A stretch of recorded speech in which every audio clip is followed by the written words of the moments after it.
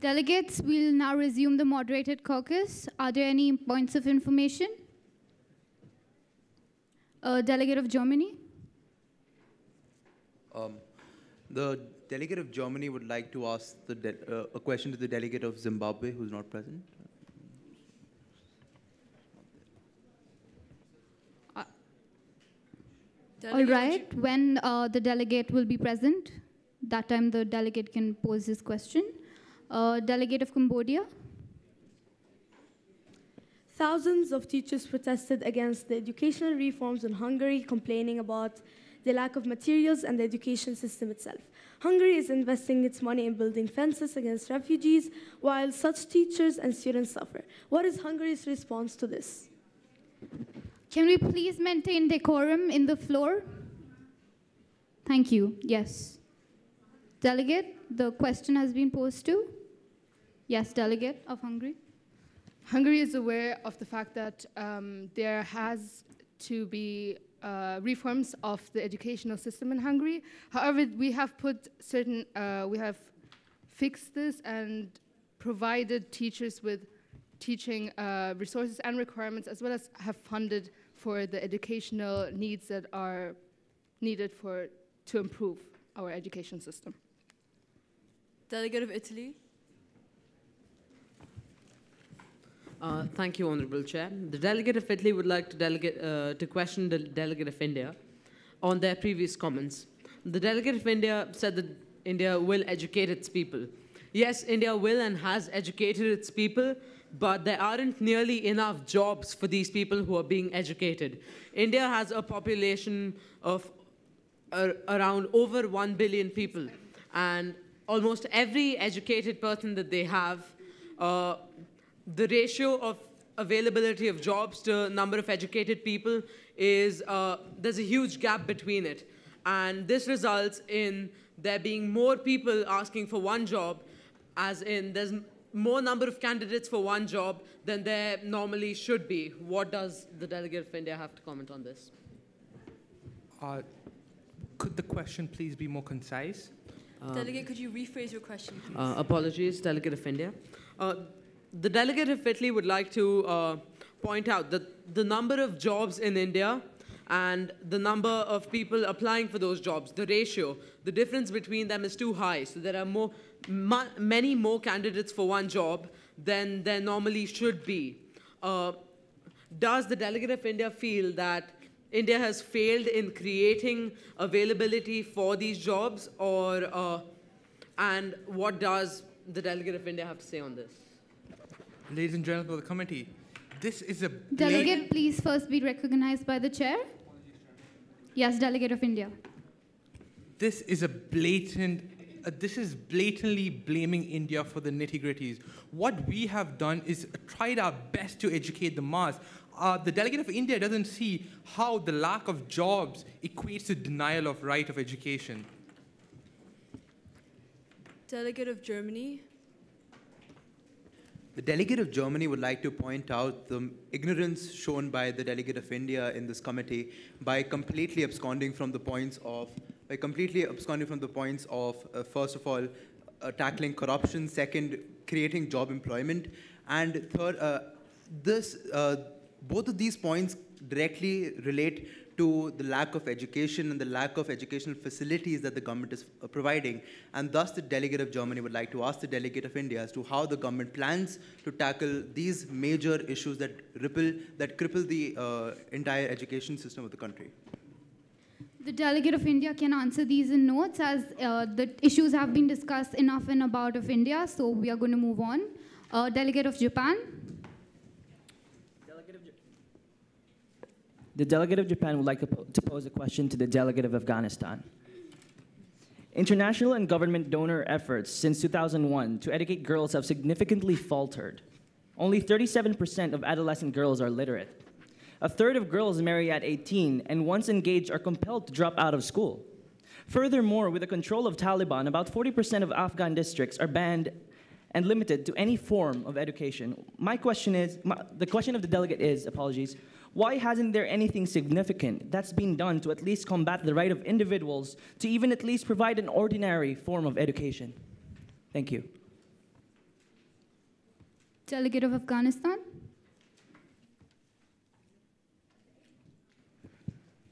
The education crisis in Afghanistan have improved from 2000 uh, to current situation, as 37 of school students are girls, as it was 9.2 from the uh, beginning, and um,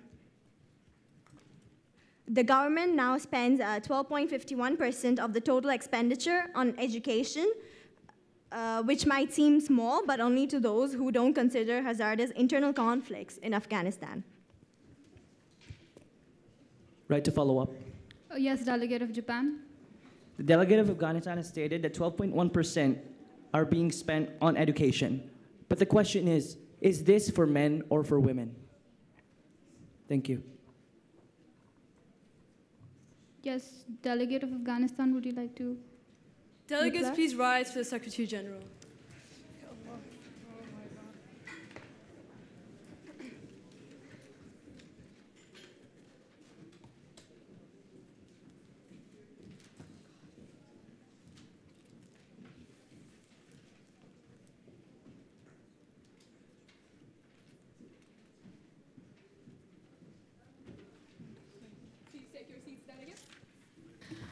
We have an emergency crisis. A bomb blast has just been reported in the Italian town near the French borders. Casualties were reported among refugees who hail from Afghanistan, Syria, and Eritrea. So far, the casualties are reported to be 20 deaths, 30 severely injured, and 5 missing. Eyewitnesses report that French authorities have increased patrolling near their borders. They, they also reported their belief that French authorities were responsible for the bomb blasts in order to avoid incursions by refu- refugees into France. We will now be moving automatically into a moderated caucus to discuss the emergency crisis. Delegate of Italy. Uh, the delegate of Italy would like to call upon all nations not to uh, blame Point of either. personal privilege? Yes. Can the Secretary General please repeat the emergency crisis and a little more slower? A bomb blast has just been reported in the Italian town near the French borders. Casualties were reported among refugees who hail from Afghanistan, Syria, and Eritrea. So far, the casualties are reported to be 20 deaths, 30 severely injured, and 5 missing. Eyewitnesses report that French authorities have increased patrolling near their borders. They also repeat, reported their belief that the French authorities were responsible for the bomb blasts in, o- in order to avoid incursions by refugees in France. We will now be moving automatically into moderated caucus to discuss this, and we hope that um, solutions come up for the same. Thank you. Delegate of Italy, you may resume.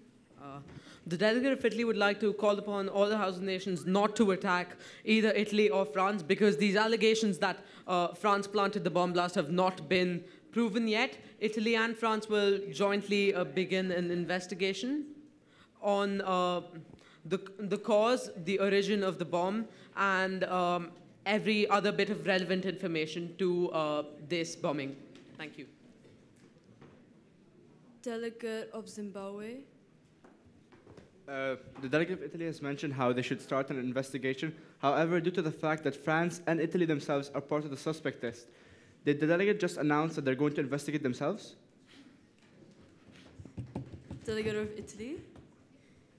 Um, the, delegate, uh, the delegations of Italy and France would like to start an investigation. However, they will encourage uh, other countries as well to send experts that could, could be uh, from forensic de- departments or other uh, military related departments, as this has been the killing of people, and Italy would not view people as citizens of any country. However, we will view it as humanity. A person has died, no matter what nationality, and we would encourage every country to uh, send in investigators so we can reach a conclusion at uh, the earliest possible time.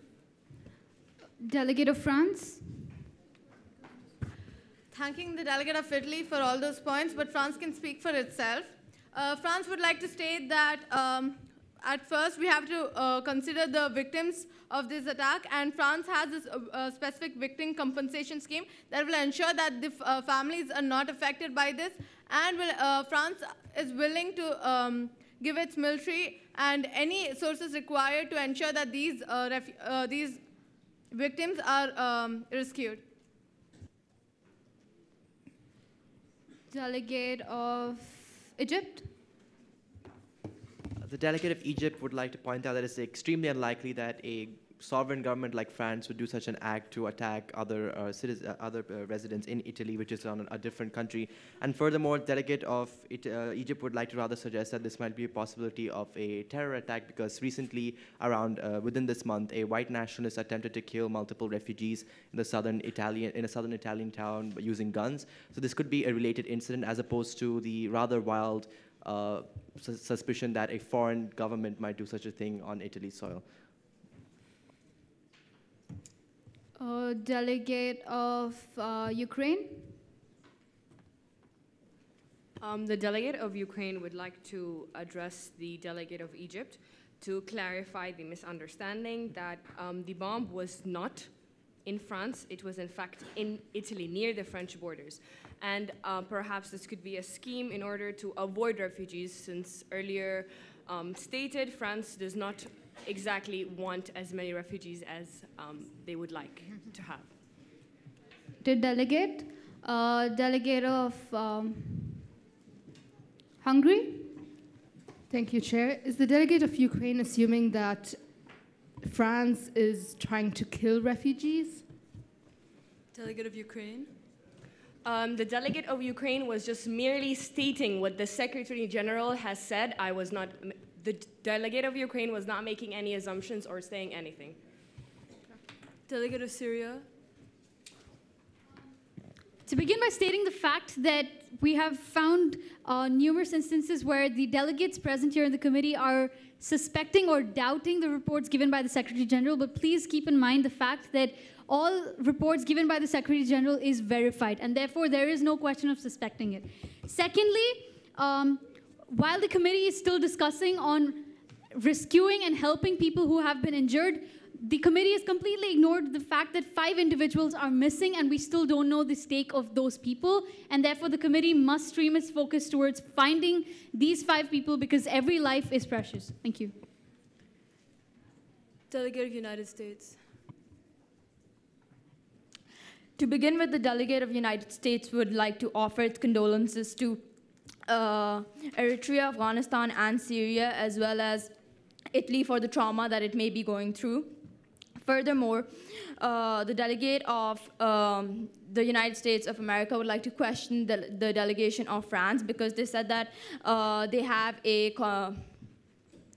they have a funding program for the families of the uh, people who have passed away, and they quote and they stated, and to quote, families will not be affected once they have been paid or provided repatriation. However, the United States does not believe this is the best way possible to achieve transitional justice, which is why they would like to discuss with the rest of the international community what method would be best to facilitate the families of those that have died and to provide feasible measures for those that are currently injured or missing. Delegate of France. Uh, noting the point stated by the delegate of USA, uh, France would like to say that um, France has many other acts, such as the Anti-Terrorism Act, which will ensure that um, any of these suspected will have their assets frozen. And since considering how France is being accused, uh, France would like to rem uh, remind the delegate of um, Syria that the, uh, the, Secretary General herself had uh, told that these were allegations and not confirmed. So making such wild accusations against a country in a diplomatic uh, platform does not seem the right way to go about it. Delegate of Japan. The delegate of Japan is calling out to all other uh, participants of the G7 countries in order to provide financial aid for those who are in need at the moment. And also, Japan will be communicating with all intelligence agencies in order to gain leverage and significant advantage towards this situation. Thank you. Delegate of uh, Russia. Thank you, Honorable Chair, for finally recognizing. The del- delegate of Russia would like to uh, pose a question to the delegates of Afghanistan, Eritrea, and Syria, the affected countries, as to how are they providing help to the Italy uh, to um, uh, to solve this problem and to help the refugee, their citizens that were affected. Delegate of Italy. Uh, thank you to uh, the delegates of the United States, Syria, and Russia for their comments. Uh, Italy would like to state that it will uh, begin a thorough examination of all uh, possibilities that could have been the cause of this bombing. It will also begin search operations to try and find uh, the five missing people as uh, suggested by the delegate of Syria. Thank you for that, delegate. And uh, it would also like to ask the delegates of all countries whose citizens were involved in this to um, please send all possible help to Italy because we intend to solve this as a team, not as one country alone. Thank you. Delegate of Argentina, you've been recognized. Um, if France uh, says that they have no relation with the um, attack, why would, why would they offer uh, um, a fund and put a strain on their economy, even though they have literally right now with their um, accusation that they have no relation with it, as the attack was on Italian soil, and the three uh, countries where the uh, refugees were um, in the attack have no relation with France. I believe that the plan of funding actually verifies the accusations given to them. Yes, delegate of Italy. Has the delegate of Argentina never heard of the word humanity? It, uh, France could very well be providing aid as a part of humanity, and uh, all the three countries in relation will have to come together to work with every country uh, whatsoever to come to a solution to this crisis, as pointed out previously by the delegate of Italy. Uh, the delegate of Italy would prefer Argentina not questioning any country willing to help because all countries Delegates, have been please asked rise to the Secretary General.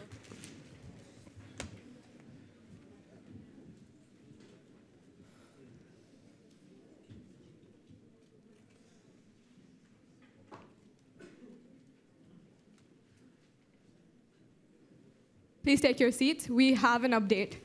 Shooting, delegates, please take notes. Shooting has been reported on the border of Germany and Czech Republic. 15 refugees inju injured and 10 missing. A video recording of a Czech police officer attacking one of the missing refugees has gone viral. BBC and CNN are re reporting huge protests by human rights organizations all over the world. Please continue the debate.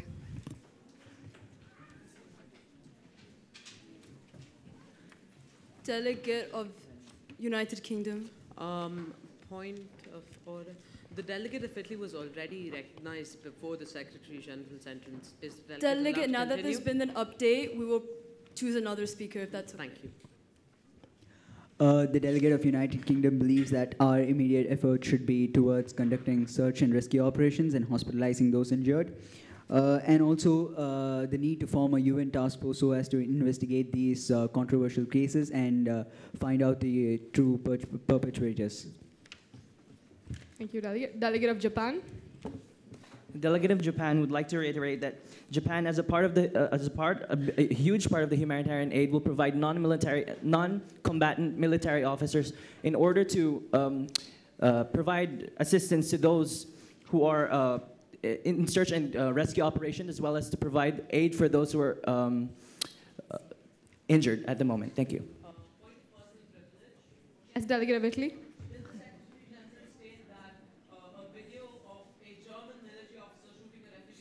A Czech police officer.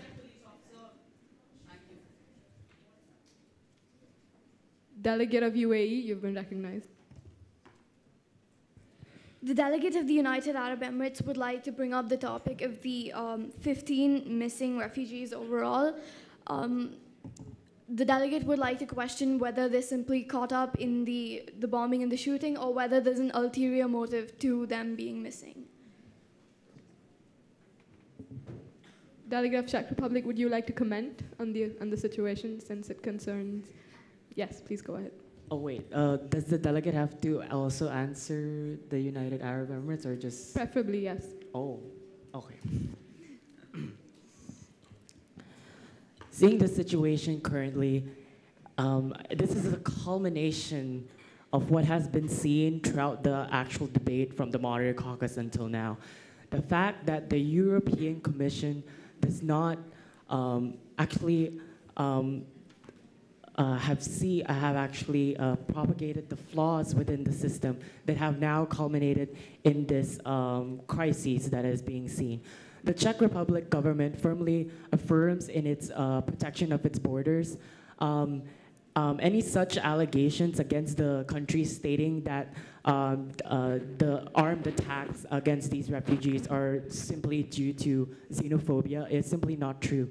Um, the Czech Republic government will be issuing an actual report um, justifying the reasons, uh, the fact that these refugees are a part of the um, growing terrorism that is being seen within the country as well as the European Union. Delegate of Japan. Noticing the consecutive outlook of the situation, it may be possible that these are all a series of coordinated attacks. Um, the delegate of Japan urges the congregation to entertain such theories to hinder further attacks and taking of lives. Thank you. Delegate of France. Throughout the moderated caucus, the delegate of Czech Republic kept saying that they won't take in refugees because they fear terrorist attack. What if the refugees don't even want to come to Czech Republic because they fear terrorist attack by the police? Delegate of Czech Republic. Thank you, Honorable Dias. Um, the delegate is um, finds the uh, finds the ignorance of the French uh, delegate to be concerning upon this issue. It's the fact that it's not um, the refugees fearing uh, the border control of the Czech Republic. It's it's the uh, actual factors that these illegal illegal immigrants and the influx of them, especially with the exacerbation of the smugglers as as, uh, and the traffickers that um, continue to create this conflict between the, board, the border patrollers as well as the refugees that are innocent.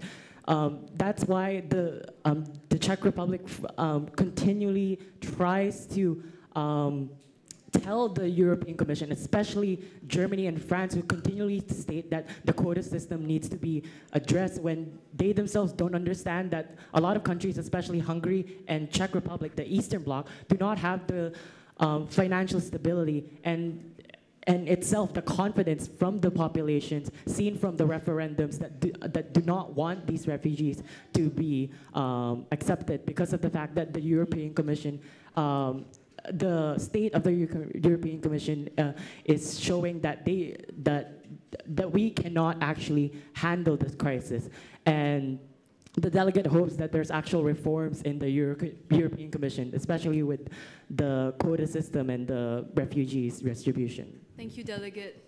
Query? Yes. Uh, who all were in, who all were involved in the shooting on, on the border? Delegate, you're requested to pay attention when the crisis is being read. This is an emergency crisis. We don't have much time left. However, I will read the second update again. Uh, uh, uh, apologies, the update. We have a second update. A bomb blast has been reported near Eiffel Towers, killing many tourists. French authorities have reported that among casualties, there are 15 French, 6 American, 5, five Finnish, and 8 Italian citizens. The bombers have escaped the French police. Meanwhile, the police in Hungary have received information that bombers have intercepted an aircraft that is bound to land in Hungary.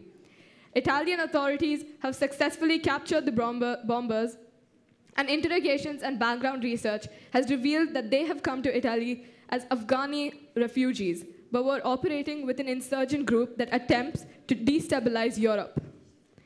They had also confided that they were not the only ones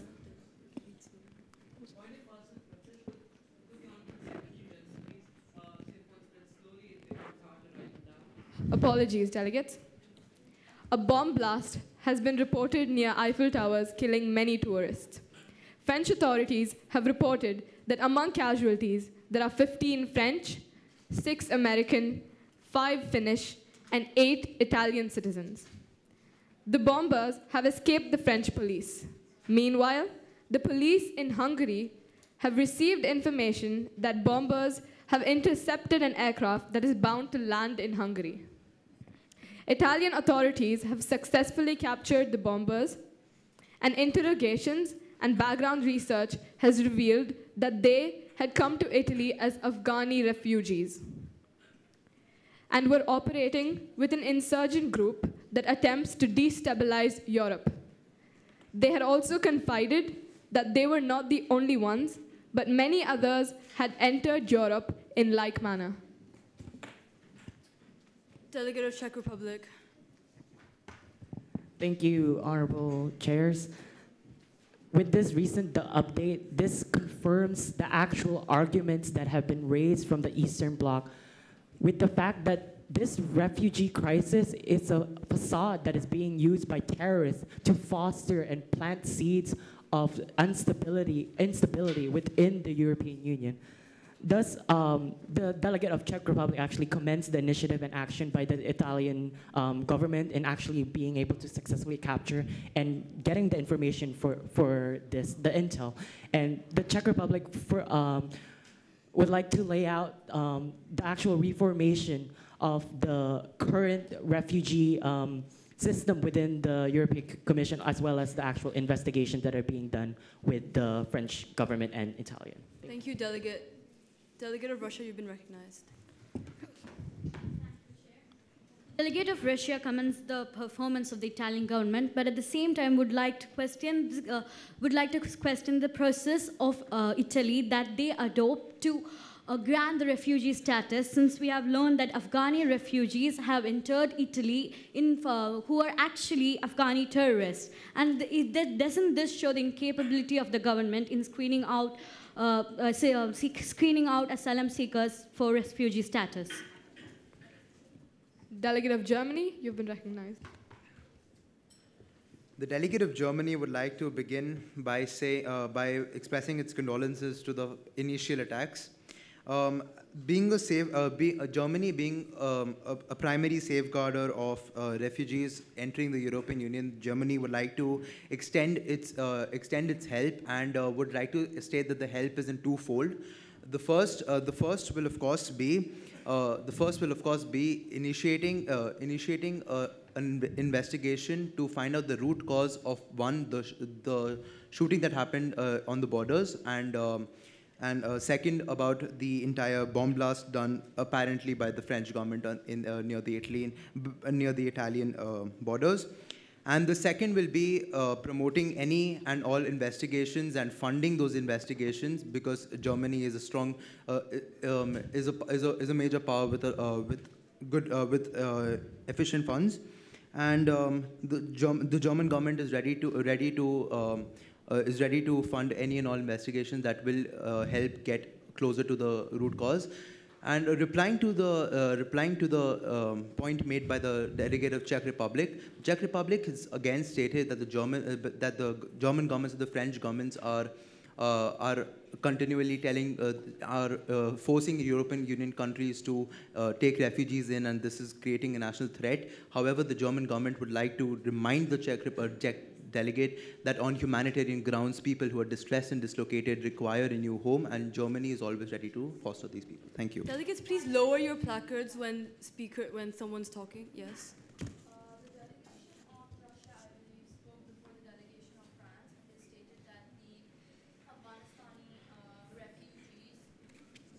Point of personal privilege. The delegate is inaudible. Please turn on the mic. Uh, the delegation which spoke before the delegation of Germany stated that the uh, people who entered the country posing to be Afghani uh, refugees were actually Afghani terrorists. Has this been confirmed by the Secretary General? Apologies, Delegate. Um, can, could you please repeat that? Uh, were the Afghani uh, refugees who came into the country posing as refugees Afghani terrorists? Because this was stated by the uh, by the delegate that spoke before the. Yes, delegate. That was part of the update. All right. Thank you. So. De delegate of Afghanistan. As stated earlier, uh, the delegate of Afghanistan believes that uh, those individuals or groups that resorted to violence are not acquainted with the country and uh, uh, I w- uh, would like to, uh, the delegate of Afghanistan would like to um confirm if the Afghan refugees were uh, investig- if the government of Italy could further investigate the situation. Italy. Um, to the delegate of Afghanistan, uh, it becomes affirmative that the delegate uh, that Italy will be uh, obligated uh, and it will definitely investigate. But it would also like Afghanistan to send a team of investigators as the people who were uh, held accountable for the bombing were Afghan refugees. This is an obligation on the Afghan side as well to help contribute to finding solutions. Uh, Italy would also like to make three other statements if that is allowed by the Honorable Secretary General. Yes, delegate, please go Uh, ahead. The delegate of Italy would like to thank the delegate of Russia for voicing their concerns, and it will affirm that screening will be uh, much better scrutinized and more secure. Uh, it will request all countries also to impose a curfew, at least in Europe, as uh, the possibility uh, keeps growing uh, that this might be a chain of terror attacks. We do want to minimize the number of deaths possible. Therefore, currently, imposing a curfew, at least in Europe, seems like the best way to reduce the number of deaths. We need to prevent the number of deaths, and we would like to call upon all the nations to impose a curfew until further fines are made. Thank you. Delegate of Egypt. The delegate of Egypt would like to remind the delegate of Italy that imposing a curfew on an entire continent is unparalleled in history and it's a completely unrealistic expectation for governments to impose. The idea that curfews will save lives in the first place over such a large, a large populace is quite childish to think and uh, actually might uh, only increase panic among, uh, among citizens across Europe. So delegate of Egypt would ask delegate of Italy to reconsider such, a, or such an option. Delegate of India. Uh, thank you, Chair. Uh, I do concur, uh, the delegate of India does concur with the delegate of Czech Republic. There are loopholes in the system, but that is not priority now. Number one priority is safety of refugees. Due to the recent attacks, attacks on refugees may increase. So I plead with the European nations to ensure the legitimate refugees are taken care of and their rights not violated. Number two, safety of the citizens of your own country. I would request a majority of the Delegate, European... please Uh, the refrain delegate of using apologies. pronouns. The delegate of India would request the delegates of uh, the various European nations to increase their security level to high alert. Uh, number three, as stated, there are many more so-called refugees who pose as uh, the so-called terrorists who pose as refugees. So I call for an immediate crackdown on them with the help of an independent UN agency. Thank you. Delegate of Syria. Um, thank you for all the contributions put forth by the um, nations here today. To begin by stating the fact that the update clearly Delegates, states... we have a third update. The Hungarian police has successfully captured the bombers of the Eiffel Tower incident. They, they are identified as Syrian and Iranian nationals working as a part of the same insurgent organization that the Ita- Italian authorities had reported earlier. The French police has also received information that this insurgent organization is using Indian channels to receive training. Eritrean nationals have been detained in Buenos Aires, Argentina, because they were charged for possessing weapons and other armed goods. This raises concerns because the area is the venue for hosting G20 meeting of finance ministers and central bank governors on March 19th and 20th. Argentinian authorities, on interrogating these Eritrean nationals, have found that they have also received training through Indian channels. Please proceed. Delegate of Hungary, you've been recognized. Thank you, Chair. Uh, the delegate of Hungary is thankful for uh, finally finding who has done uh, this crisis. And uh, to add to that, um, for the delegates that have questioned refugees for committing such attack, at the beginning of this crisis, Greece said it was not possible to rule out the presence of terrorists among these masses of migrants. So the possibility of migrants committing such uh, situations is possible. Delegate of Eritrea. Uh, thank you, Chair. The delegate from Eritrea would just say that um, Eritrea is ready to give uh, uh, clear and honest information if is it needed to find the um, to, to help uh, finding uh, the, the responsibles and not the uh, organization responsible for this. Um, and also it will um, uh, enhance the co- controls uh, in, in the borders to, to avoid the possibility in the future that uh, terrorists uh, go out of Eritrea. Thank you, delegate. Delegate of Cambodia. Just because some Afghani uh, refugees, I don't know, became terrorists or something, doesn't mean that all refugees are actually terrorists. So, no country or delegate should accuse refugees of being terrorists in any way.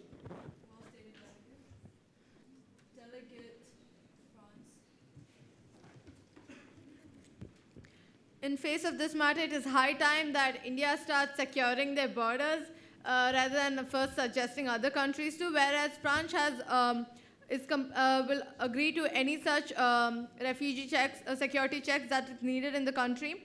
Also, France would like to remember Czech Repu- uh, remind Czech Republic that uh, while saying no to terrorists, uh, no to refugees who might be terrorists, Fran- uh, Czech Republic has to remember that more than 60% of the refugees are unaccompanied, unaccompanied children, and refusing them, yeah, that's a humanitarian crisis.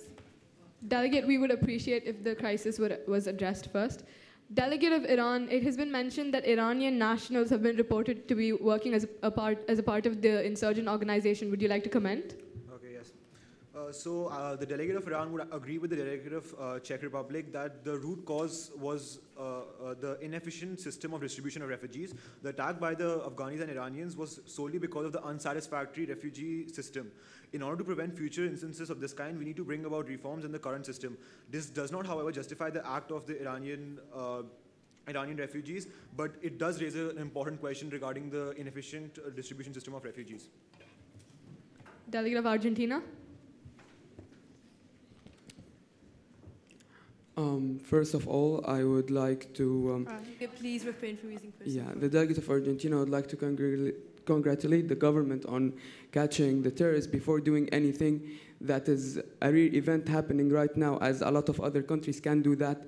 Uh, this have been uh, mainly because of uh, we had uh, unfortunately an experience with terrorism in AMIA accident in 1997, and uh, as uh, a role, as a global role from Argentina and drives from humanity, we would like to offer uh, police officers and investigators to be uh, sent to any country in need so they can protect their interior. Delegate of Afghanistan.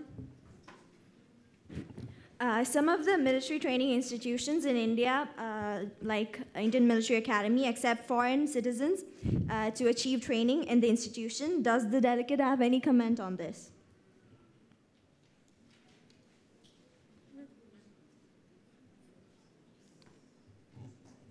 Delegate of India, would you like to comment? Be rephrased. Delegate, please rephrase your question. Some of the military institution, training institutions uh, in India, like the Indian Military Academy, accept foreign citizens to achieve training in the institution. Does the delegate have any comment, comment on this? Uh, Yes. Uh, thank you, delegate. Uh, if the delegate is insinuating that these these government channels have been used for these terrorist attacks, we, the government, can assure you it has not been.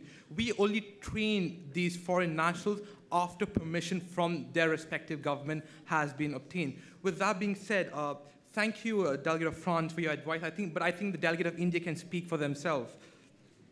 And furthermore, the delegate of France uh, was insinuating that India should secure its borders before advising others to. Let me state this was an advice before the third update had come out.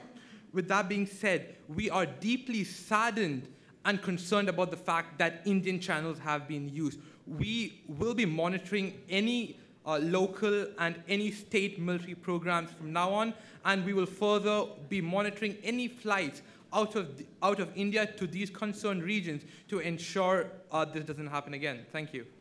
Syria. Okay, sorry, delegates, we're moving to an unmoderated caucus. For draft resolution uh, making right now. And we'd appreciate it if we have uh, two blocks. Thank you, delegates.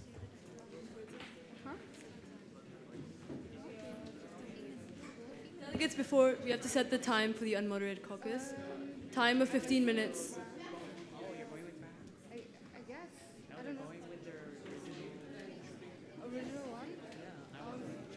Honorable chairs, uh, as a point of personal privilege, uh, I, this dele dele delegate of Japan would like to request that both blocks be separated on either side of this room to, to maintain the decorum. that will be in order. Delegates, the time for this unmoderated caucus has expired. Please return to your seats and submit your draft resolutions to the dais.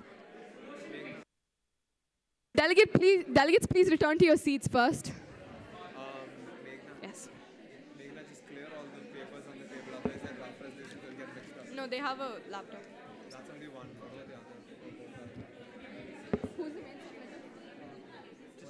Delegates, we have not, we have yet not received any draft resolution. We, delegates, we've received just one draft resolution. Can we, guys, Please return to your seats, delegates. Delegates, please return to your seats. Maintain decorum. We have not. We have received only one draft resolution. Yeah, it's a, it's a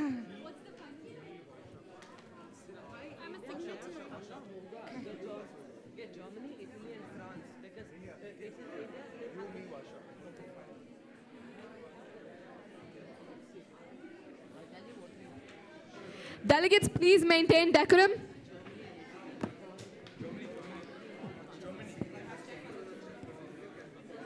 And please refrain from cross-talking Delegate of France. Are there any motions on the floor? Delegate of Syria? The delegate of Syria um, Delegates, poses a your motion- attention, please. Please join us in welcoming our esteemed dignitaries who have arrived in our midst. We have the pleasure of having with us Ms. Rosalia Arteaga, former President and Vice President of Ecuador.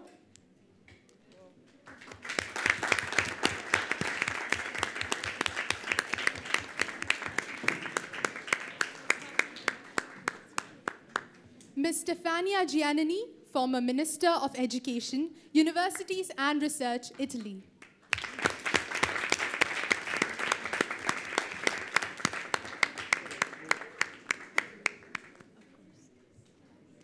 Over to the chair.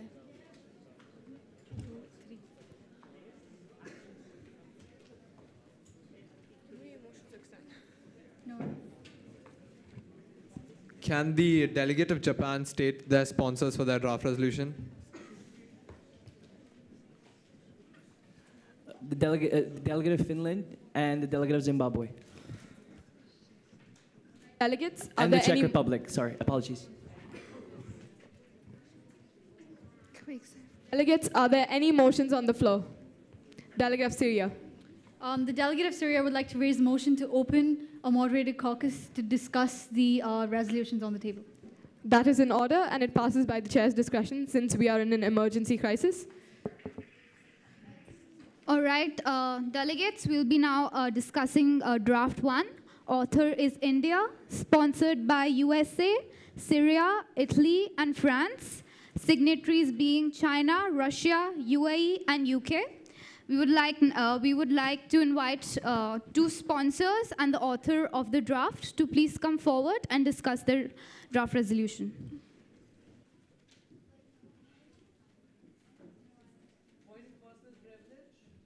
Delegate?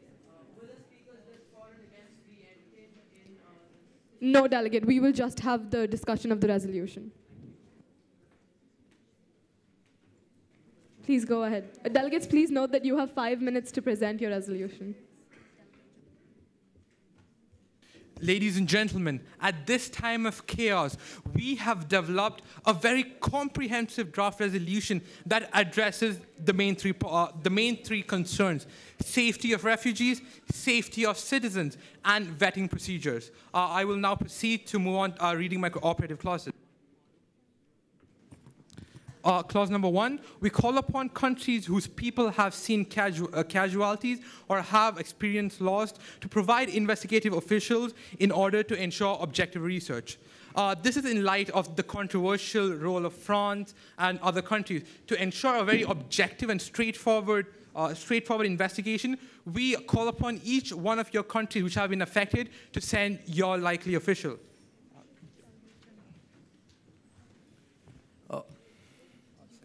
Request the UN to conduct an independent investigation of the countries that have suffered casualties and have contributed to these attacks. This is in light of uh, this is in light to get more information and uh, evaluate the correct uh, the correct uh, reasons as to why the attacks happened. Moving on with the resolution, we further invite all member nations to continue to implement strict vetting and screening processes so that the status of refugees is only granted to the deserving refugees. While we have constantly discussed the fact that illegal immigration is uh, a crucial aspect of why terrorist attacks are taking place, and therefore to eliminate having um, eliminate terrorists upholding the audacity to attack nations or host in different nations will be eradicated.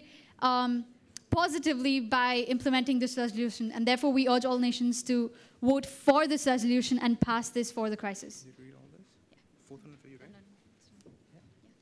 So, ladies and gentlemen, to reiterate, we have the vetting procedure that many of the countries called for. We still ensure that the refugees are taken care of. We know they need a home, and we are still able to provide a home for them. With that being said, ladies and gentlemen, we present our resolution. Thank you, delegates. Uh, since we are discussing the draft resolution, you will have to answer points of information. Are there any on the floor? Please raise your placards now. Also, delegates, before we proceed, uh, the author is not India, it's Germany. It's just been changed. Thank you. Delegate of Egypt, you've been, you've been recognized. The delegate would like to question the sponsors of this resolution by asking that the, now this resolution does not provide any comprehensive clauses to deal with the current situation at hand, but rather prevention of further situations. So how does the delegation expect the resolution to tackle the current precarious situation of refugees across Europe and those affected right now in Europe? Uh, we also have a clause which states uh, uh, yeah, we also call for nations who are currently in the European Union to uh, raise their security levels to high alert. That wouldn't mean a curfew or closing down of the continent, but increased security. And we believe this will deter any future attacks. I delegate, delegate of Finland, you've been recognized. Does this resolution not have anything, uh, anything to aid the search of the 15 missing people?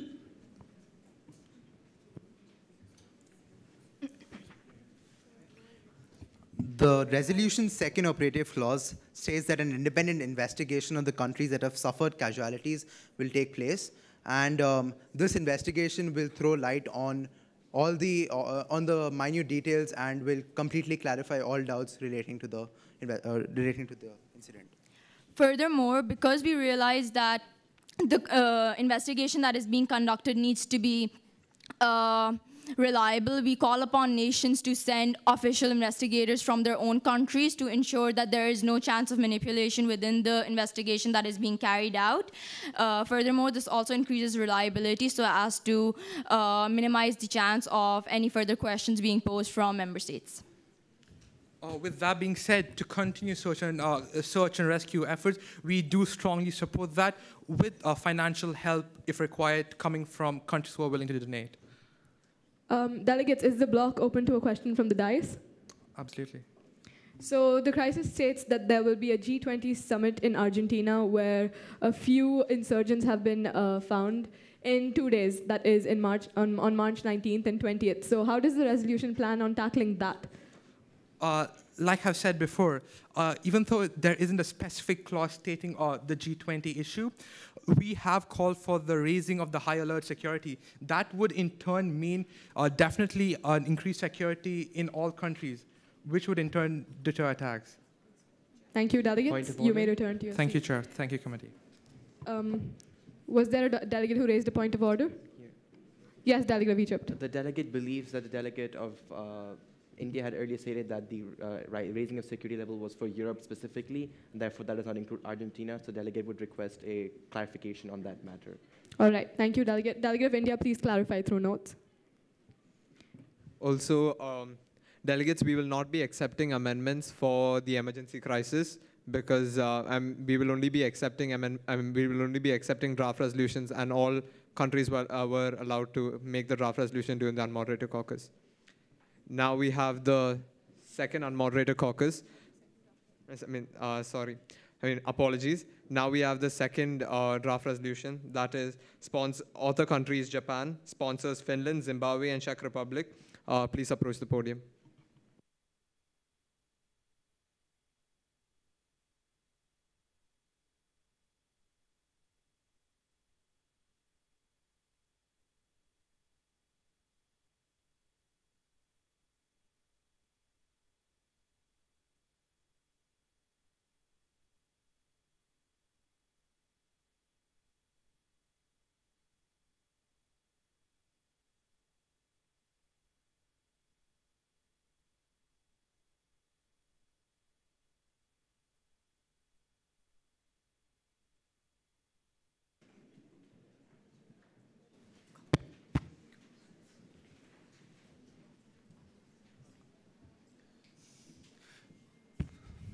So, fine. Clause 1 increased active participation and collaboration of all states and international and regional organizations to impede, impair, isolate, and incap- incapacitate uh, the terrorist threat. Clause 2 Secure borders of secure borders of member states with more armed personnel. Member nation. Uh, yeah.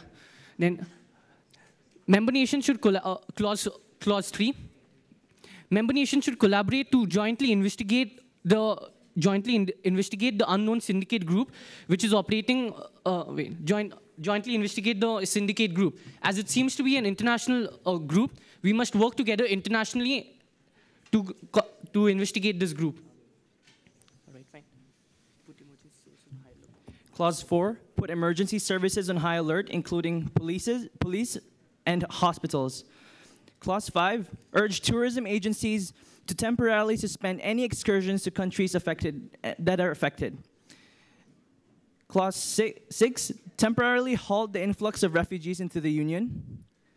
And Clause 7, joint international investigations should be held in order for um, um, a larger and much more advantageous situation to be achieved. Clause 9 authorizes the reformation of the refugee quota system. And clause 10, stricter vetting of the refugees to distinguish between those of legitimacy and those of um, terrorist threat. Um, obviously, these last two points are more to actually um, prevent any more actual uh, terrorist attacks, especially with the fact with the, the way this crisis has occurred. This is a chain reaction that has been seen from this syndicate group.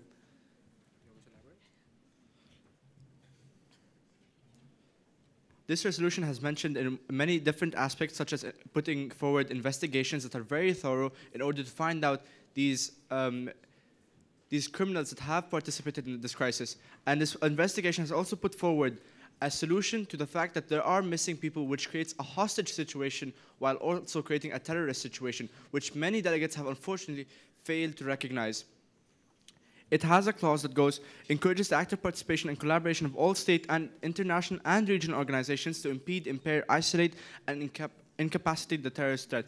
This encourages the entire committee to come into one hand and help in aiding in closing this crisis. Okay, we may, we may move forward. we yield our time to questions All right, delegate. Are there any points of information for the delegate of Iran? You've been recognized. Okay, so uh, the delegate mentioned that it covers all aspects, but uh, what compensation does this resolution provide to the uh, people who have been affected by the deaths during the bombings? um, could you rephrase the question oh wait Delegate, you're supposed to raise, raise a point of personal privilege. Point of personal privilege? Yes, Delegate. Could the question be rephrased? Delegate of Iran, please rephrase the question. Okay, so the, uh, the, uh, the sponsors mentioned that uh, this resolution covers all aspects. However, what compensation does this resolution provide to the families that have been affected by the deaths during the bombings? Every delegate on this uh, on this block does give away its condolences to the families and will be will try its best to provide funds. However, as as a sponsor, which is Zimbabwe, cannot cannot offer its monetary funds. Other countries on the block can. Delegate of Sweden, you've been recognized. Thank you, Honourable Chair. The delegate of Sweden would like to ask the delegate of Japan what program do he, does he have to prevent uh, the group, the terrorist groups coming into these states? Because uh, yes, you can have uh, controls, but what program uh, does he have specifically? Uh, specifically? Thank you.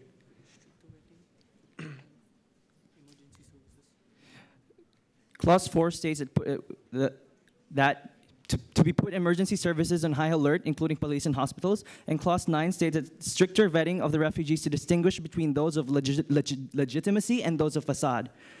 Also, Japan is a member of one of the G7 nations who are um, one of the uh, members of the largest economies, thus being able to provide uh, large amounts of financial aid as long a- a- as well as um, non-combatant military officers in order to combat the rising threat of um, terrorism worldwide.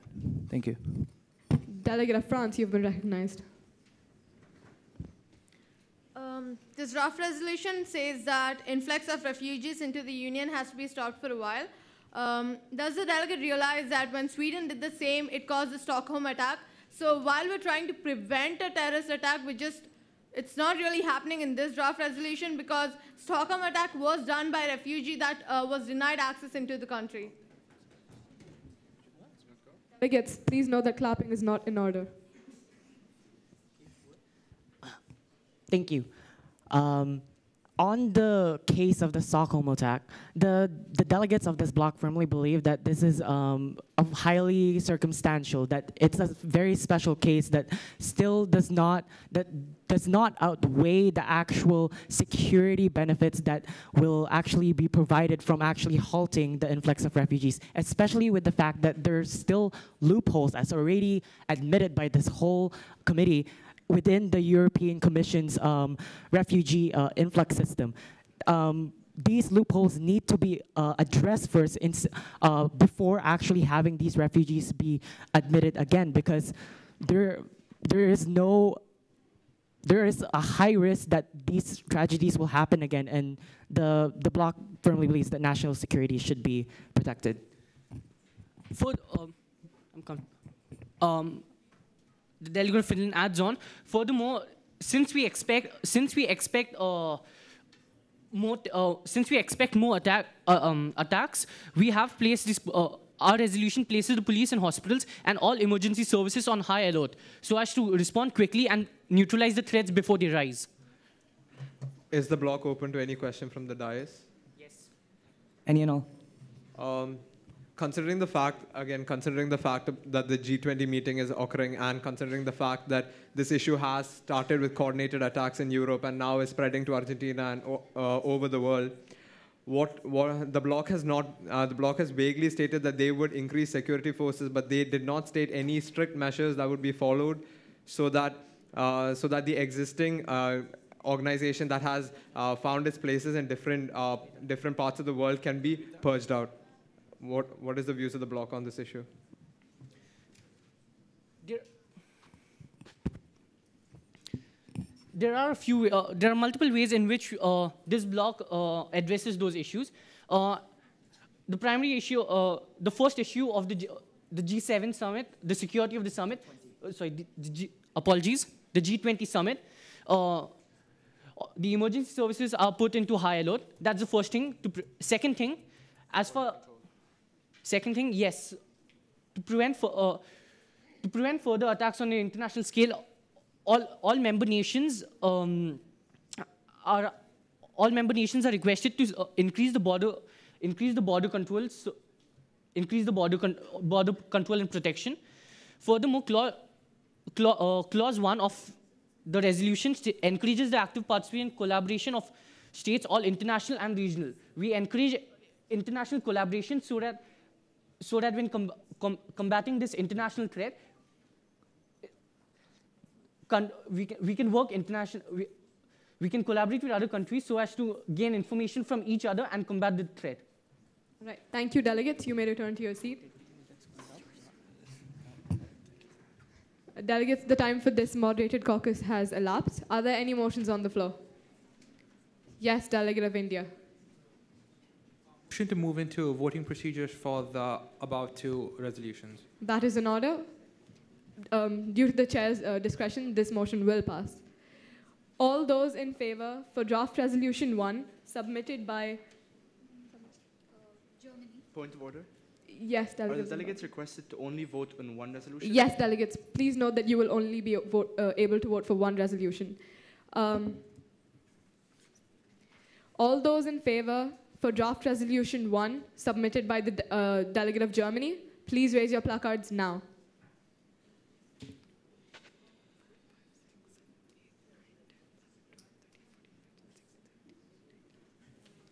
Please lower your placards.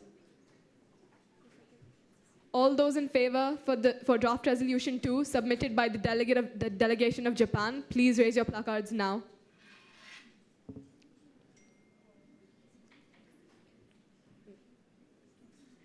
By a clear majority, the draft resolution submitted by the delegation of Japan passes. Clapping is now in order. apologies, apologies. Um, apologies, delegates. The draft resolution submitted by the delegation of Germany.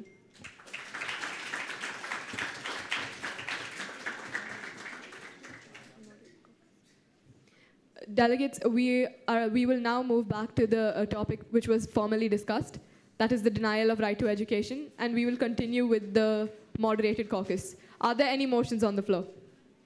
Delegate of Zimbabwe. Motion to open uh, a moderated caucus. Of total time? 20 minutes. That is in order. All those in favor? This motion clearly passes. Yes, Delegate of Zimbabwe. Um, the delegate of Germany, uh, apologies. Germany has mentioned and has recently stated that they believe that education is a right more than it is a privilege. Does Germany believe that this is a realistic standard that should be applied to every country and has not had any negative side effects yet? Um, point of personal privilege? Can the delegate please rephrase this question? Delegate of Zimbabwe, please be more concise and rephrase the question. In a recent occasion, Germany has stated that education is a right more than it is a privilege. Have there been any, any negative side effects to this model? And if there aren't, does Germany suggest this model to many other nations? Yes, Delegate of Germany.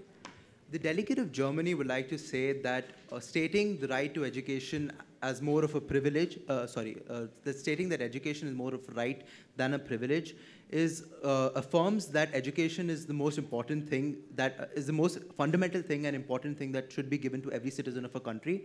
It states the, uh, it, it, it, it, um, it highlights the priority that education should be given in each and every country, and thus Germany does believe affirm, uh, affirmatively that all countries should um, um, um, should treat education as a right rather than a privilege, and that would create a greater impact on education as a as a global issue.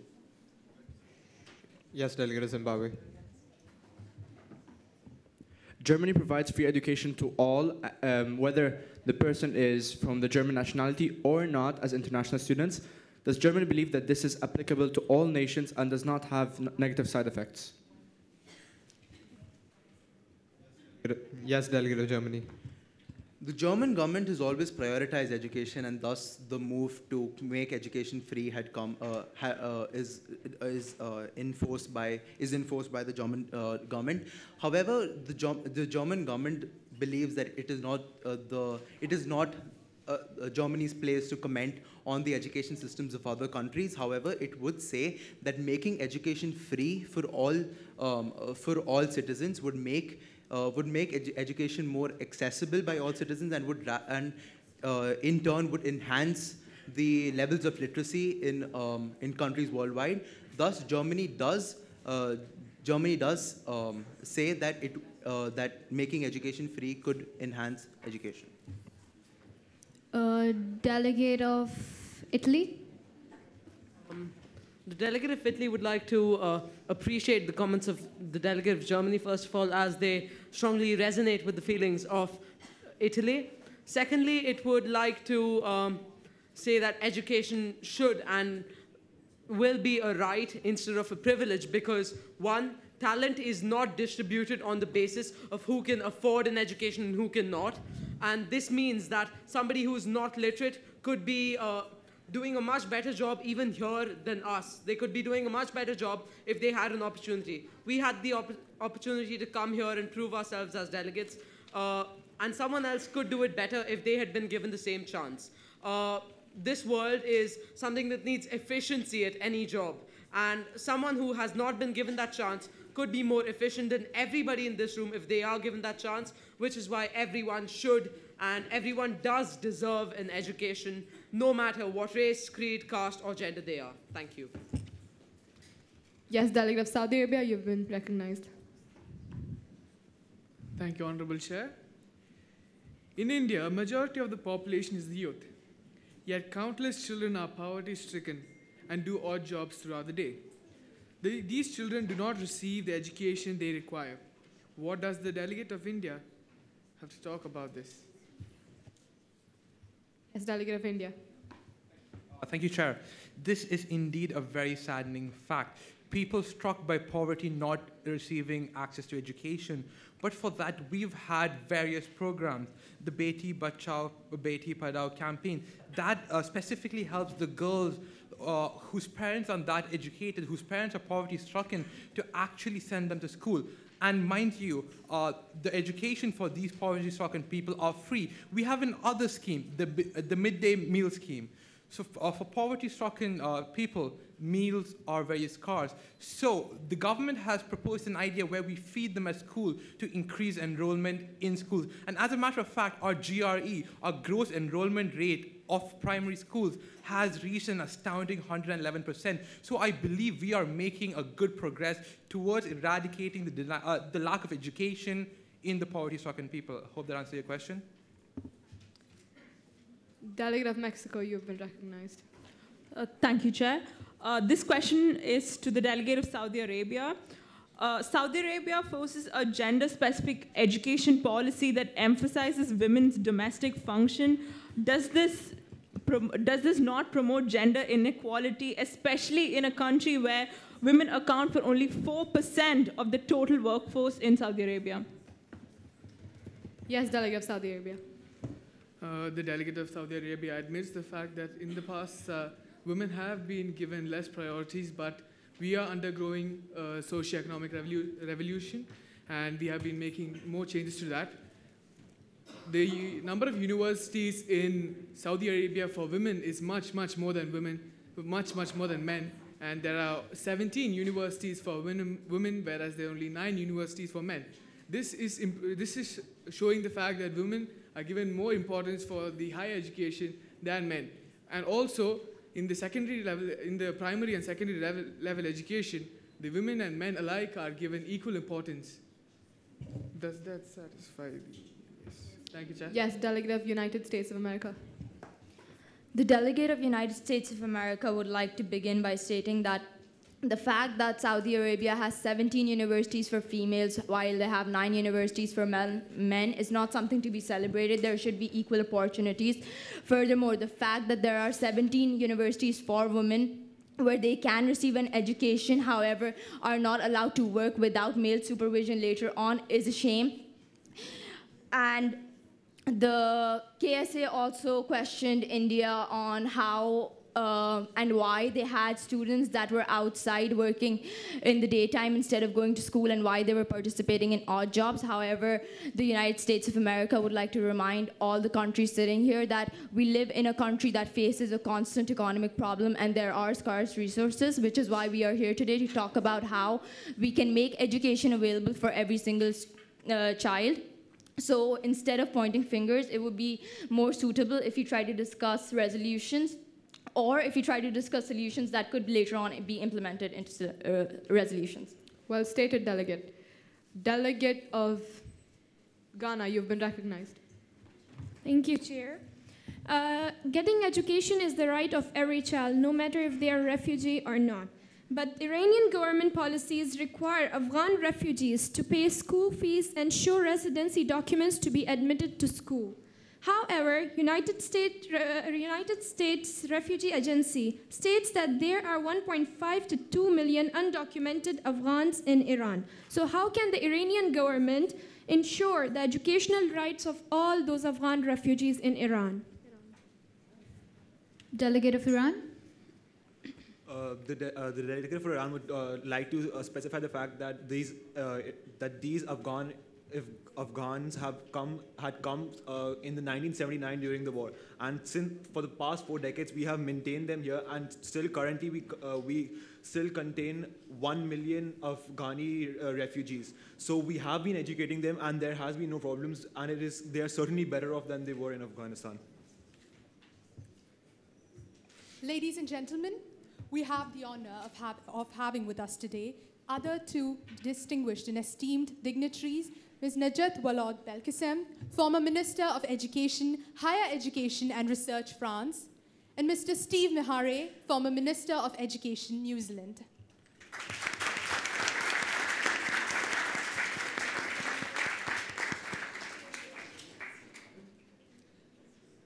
We now request our esteemed dignitaries to address the gathering and share their valuable insights with us.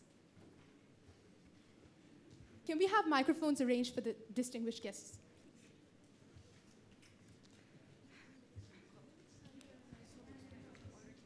Okay, uh, thank you very much. I am uh, Rosalia Arteaga, former uh, uh, Minister of Education of Ecuador and former Vice President and President of the Republic. I um, really appreciate the opportunity to be with all of you. I love to work with uh, young people, and um, I have to tell you that I uh, can hear some very interesting points on, that you put on. A Special uh, congratulations for the General Secretary, that is, she is making a very good job. I appreciate it a lot. And uh, I also have to congratulate the delegates that I have heard with their positions defending the positions of the different countries that uh, you are representing. Uh, on my experience, I, I have to tell you that um, I started my life being a teacher in a high school when, as, when I was 17 years old. Uh, probably some of you are uh, of the same age. And uh, I had also the opportunity in Ecuador to organize a simulation like this, uh, but not about the United Nations, but the Organization of American States. That is a regional organizations all, of the, uh, all over the Americas. And it was excellent because uh, uh teenagers and young people learn how to develop procedures to respect the others' uh, thoughts uh, and uh, to, to make an effort to explain the arguments that you have. Uh, I also want to share with you another experience. When I was in 2004 to 2007, General Secretary of another organization, the Organization of the Amazon Basin, that has to deal with the eight countries of the, of the Amazon. Uh, the headquarters are in Brazil. Uh, I had an experience that I want to share with you.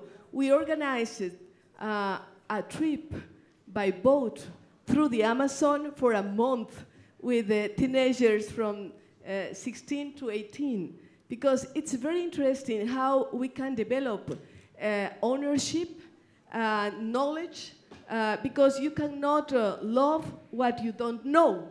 It's very important.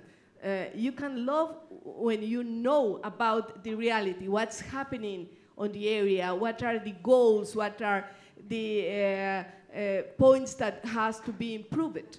Um, then I, I, agree with uh, what we are doing here, talking about education. Education is the most important thing that we can provide for our people in any part of the earth it is a right. Uh, as you told, uh, talked uh, before, it's a right. And uh, everybody, every human being has to achieve all the goals through education. I think it's uh, one thing that I want to share with you. Thank you very much.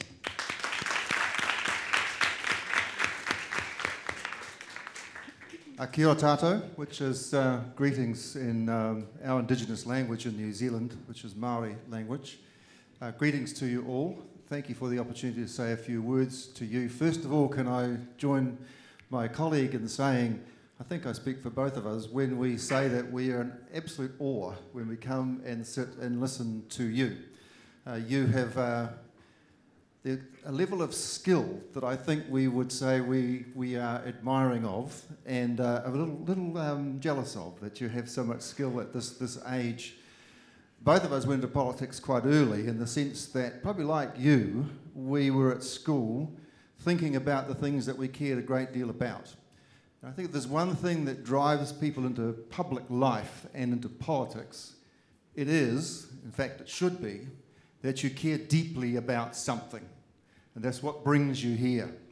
That it gets, it's the kind of thing that motivates you, gets you out of bed in the morning, that you can't stop thinking about, that you want to see change. That's what drives you into public life and into politics because you want to be the person who can't do it on their own. That's why you go into public life, to be part of everything that's able to be happening. But you want to see that kind of change. And I get the feeling from just listening to the level of passion that you have brought to this debate here that that's the kind of people you are. That's how I got started in politics. I started in environmental movements, anti war movements in my home country.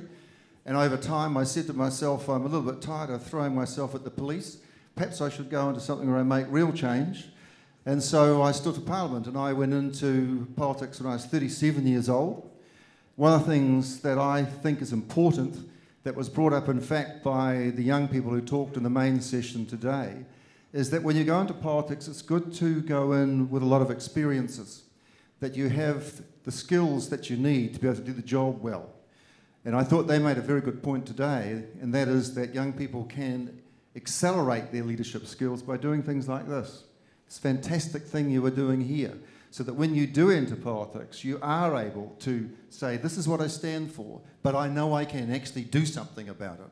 I have the skills to speak, to write, to bring policy to bear. I know about the law and how my country runs. I can actually do this job. And you are, you are doing things at an age that really I was not. And I'm sure many of my colleagues in the parliamentary group here were not. So you are accelerating that growth and you will bring all that skill to bear when you go into Parliament. When you get there, you'll find it's, it's slightly different in many ways to what you'd hope for. It can be slow, it can be frustrating, it can sometimes make you feel that there must be something else you could do with your life that's better than this. But there wouldn't be many politicians who would say to you that they regretted the time that they were in politics.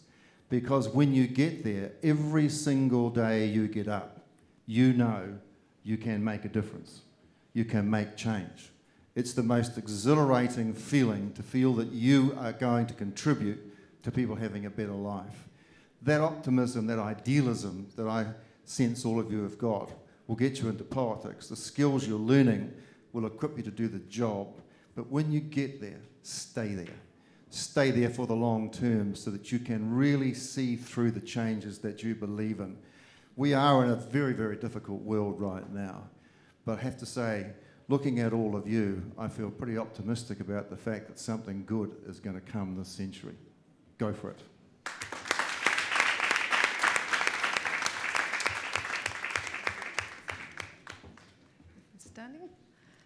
Honorable delegates. It's a great honor for me to be here at this uh, United Nations Simulation Conference. Uh, you dealt with some crucial issues uh, about education, not only like this, uh, this topic.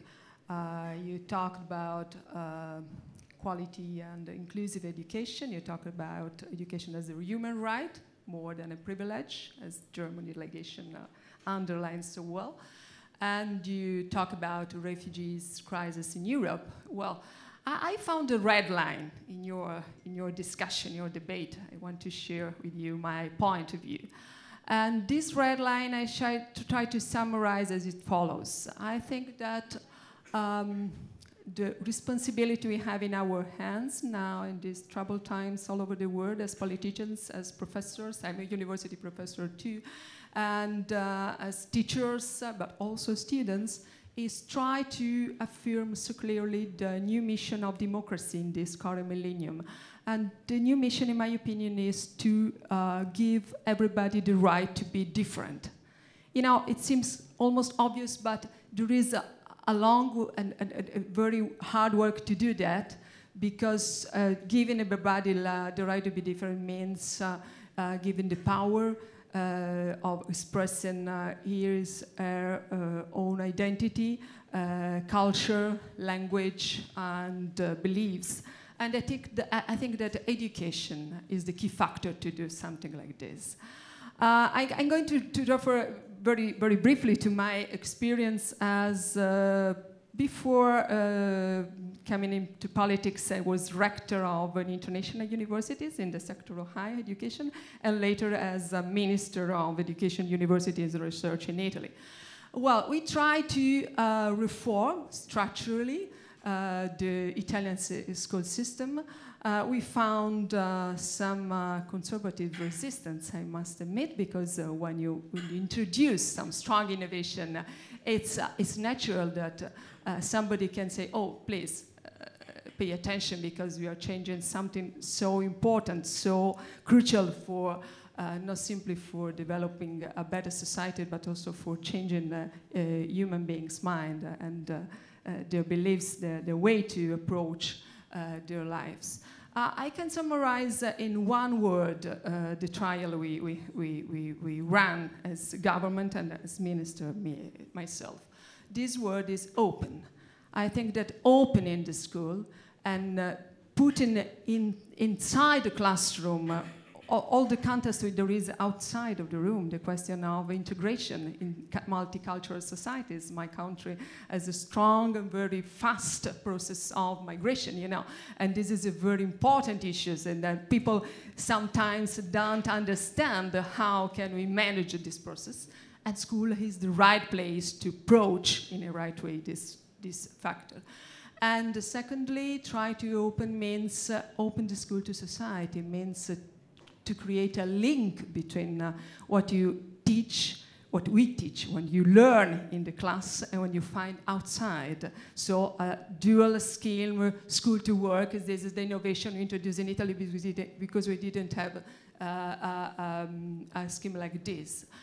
But maybe the most important thing, uh, the most ambitious challenge we have, the most difficult thing we have to do, and we try to do also in my case, is try to rethink the way we teach and the way you learn. Because, you know, uh, we have now a digital uh, context around, uh, all around the world in different countries. Everybody has something just like this, and you can connect, you can invent, you can innovate uh, in so different ways. But uh, at the same time, we must consider that this is the most important innovation we have to, to, to introduce in every uh, national school system. But at the same time, this is my opinion, this is my point of view, we are sure that computers will be always smarter than human beings. So, which is the difference? Which is the feature we have to put in our programs, in our way of teaching, and in, our, in your way of learning? It's something which is uh, so typical for person, for human beings, believing, independent thinking, and uh, soft skills. What is it, it's the difference between smart and wise. And in my opinion, school education system must uh, introduce wisdom more than smart in, the, in, the, in, the, in our society. So we try to do something like this. We try to create an um, open school, more open than it was in the past. And uh, I think this, this is the right way to go. And I think that also the issues you touched around this table have to do with this uh, so ambitious program and so ambitious objective, not simply in politics, but also in education.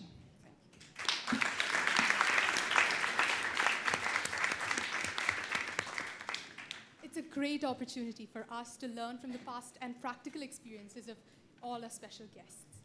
We'll now get started with the question and answer sessions. The first question is for Ms. Rosalia Arteaga from Vania Sultana.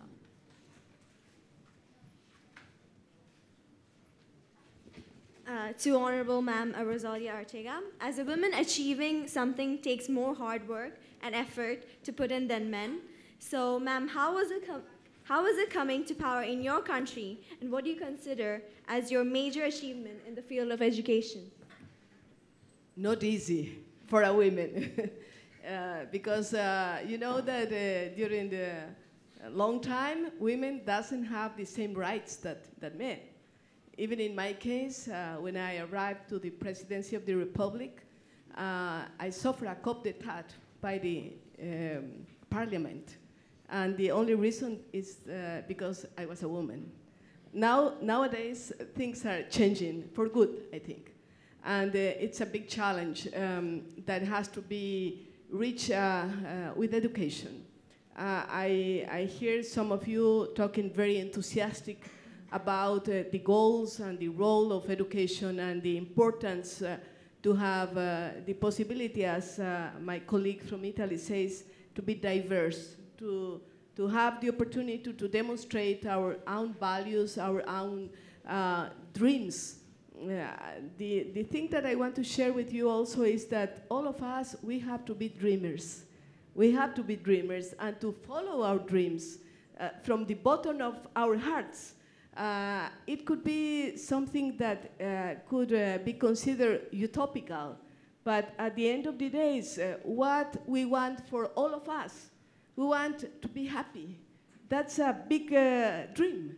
And uh, how we achieve the happiness is very personal because happiness is very different for everybody of us. Then, being dreamers, working to make the dreams of the others also be in uh, practical efforts uh, is one thing that uh, we can uh, share and uh, we can work for it. Um, the experience to be in, in power, as I told you, is something that, um, in my case, I personally decide because I want not only to be an observer, I want to be on the field, a player. And um, uh, in my time, because uh, I, I, was in, in position more than 20 years ago, it was not uh, usually that uh, a woman in a country of Latin American uh, could do some kind of things. Uh, I was, for example, the first female minister of education of my country, and I remember that some people on on um, on the street say, "Yeah, you maybe go to the kitchen." And I say, I don't like to cook. I am a really bad on, on kitchen. Then I have to be in politics. Uh, but it was like an ironic uh, answer. Uh, and, and I feel that uh, I had the opportunity to open roads for female in my country and in a lot of countries. Because when I talk with, especially with women, but also with young men, they say, uh, yeah, you can be uh, a role model because you fight for being there you do it in a proper way, no corruption, not uh, agreement under the table, that everything has to be open. And uh, I really call you to follow your dreams and to fight for a better world with the tools of education. Thank you. Thank you, ma'am. Our second question is for Ms. Stefania Giannini by Ivy Ganguly. Can the mic be passed on?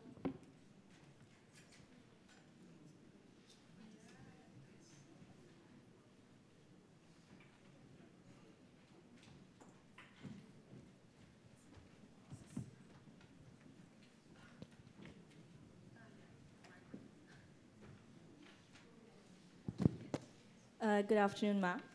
My question for you is that considering your marvelous achievements and great contribution in the field of education and politics, what do you think is the greatest challenge that students as well as educators would have to combat in the years to come? Did you visit the laboratory which are outside of this uh, room? There is a magic word made of high technology, strong innovations, new competencies you need as students, but I think new competence we need also as teachers or professors, just to understand what's moving around. And I'm not sure that we can predict today which will be useful in a few years in order to, to find a good job, in order to understand better that we need to do this kind of fast changing world. So, the first challenge is, of course, try to introduce uh, a digital paradigm in the, in the schools. And uh, it's important, very concrete, very clear objective. But at the same time, if we want that education still remains what you said, that it is a human right and the key factor which can change people's mind, the key factor we have in our hands to, to bring peace and stability inside a person's uh, heart, as uh, Rosalia told us before.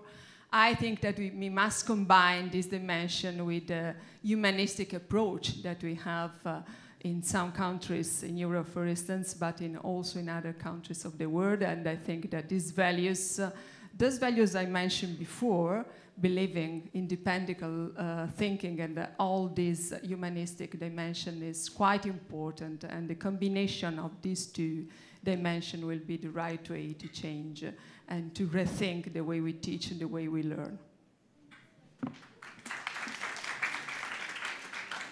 Thank you, ma'am. Our final question is for Mr. Steve Maharey by Justin Raphael. Good afternoon to you, sir. Sir, uh, Steve, uh, Sir Steve, you have stated earlier that students may um, accelerate their growth through participating in worthwhile extracurricular activities and leadership tasks, etc. So, do you feel, sir, that standardized testing results and grading systems would still be an effective way to determine the academic success of students in the future?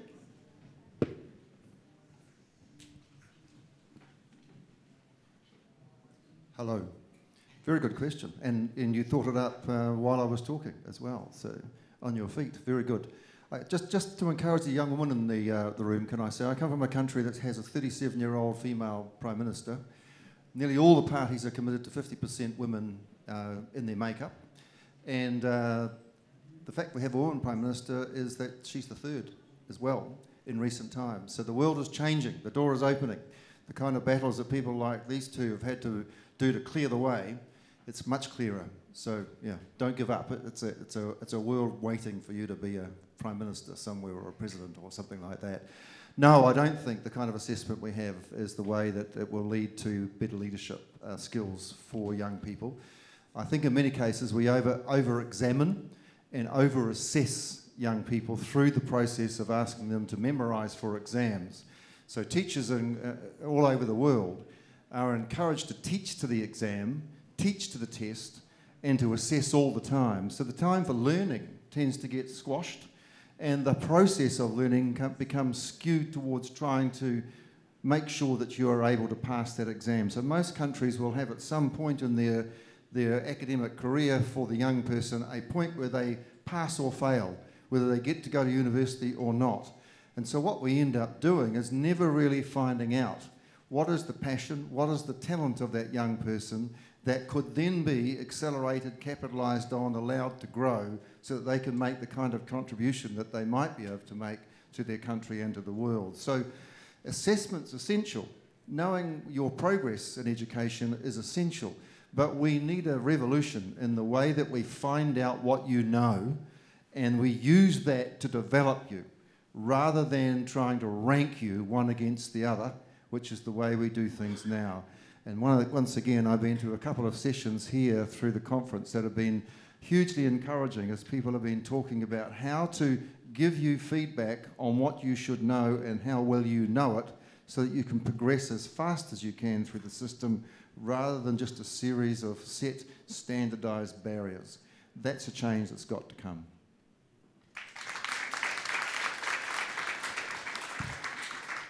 Thank you, sir. Thank you, honorable guests of honor, to, for being here with us today. We truly appreciate the priceless wisdom you've spread to us. Over to the chair now.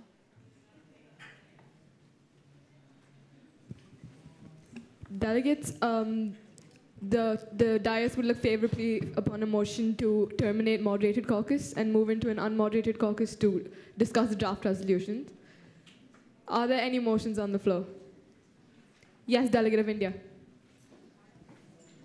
Uh, motion to adjourn moderated caucus and open an unmoderated caucus for a time period of 20 minutes. That is in order. All those in favor? This motion clearly passes. However, delegates, please note that uh, the time will be revised to 15 minutes uh, due to chair's discretion. You are now in unmoderated caucus.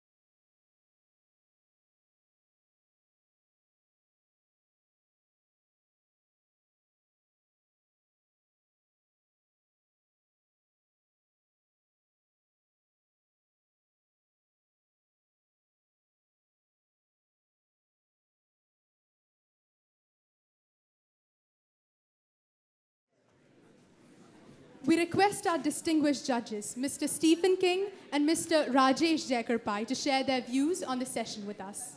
It's been a great pleasure to see so many of you again uh, for the second time, seeing how many of you have grown, uh, and to see your development over the past couple of months. It's, it's fantastic. Um, I've had a great time again, and I'm looking forward to seeing the next session tomorrow. I hope they're going to be half as good as you, because then that will be very entertaining as well. I think uh, from today and from last time, what I saw was a couple of people really mature and become more than just people who can learn from a computer screen, but they could digest it and come up with stories and the ability to engage with others to convince them of their point of view. And they managed to do that with, with charm and with, with, with pleasantries that brought people together with a lot of warmth. So I was, I was very pleased with that.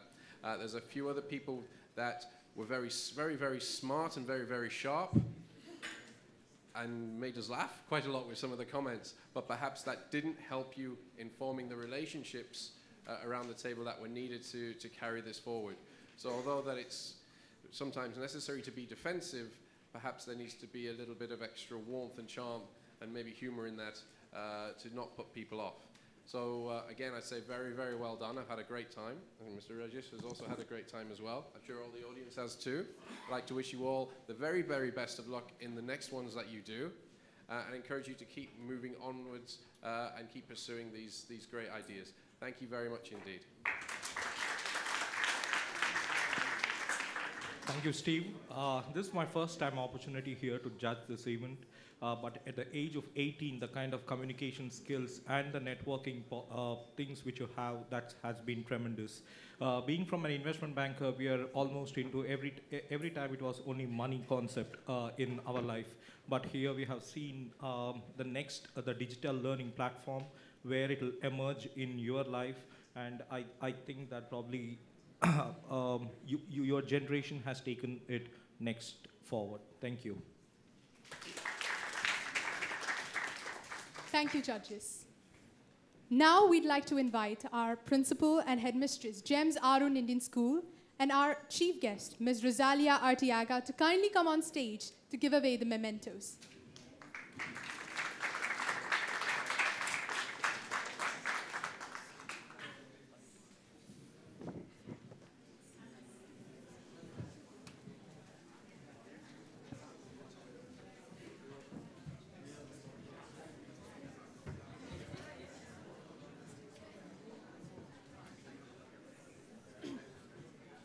We call upon the honorable members of the chair to come forward and receive mementos for their contribution to the UNSC 2018.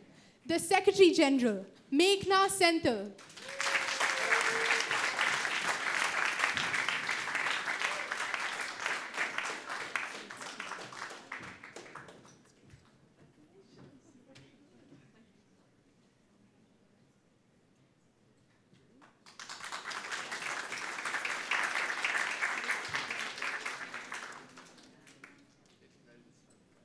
the presidents of the General Assembly, Arun Anand and Aisha Kavari.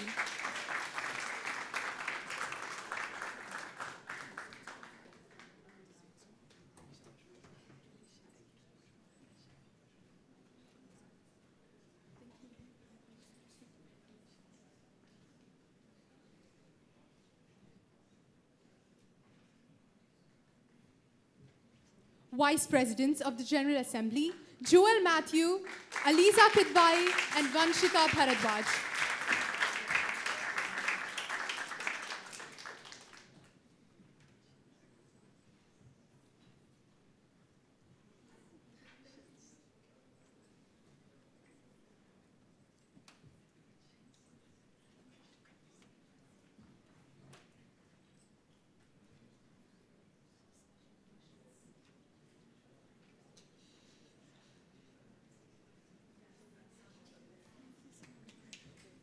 We now have the much awaited results with us. I request our chief guest, Ms. Stefania Giannini, to join our dignitaries on stage.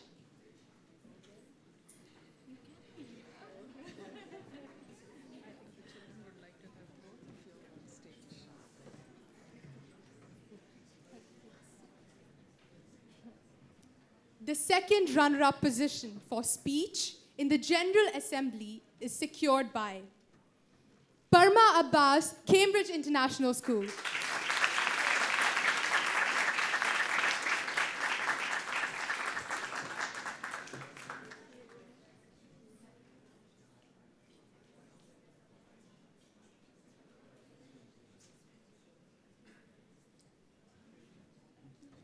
The first runner-up position for speech, General Assembly goes to Adam El Hanawi, the Winchester School, Jebel Ali.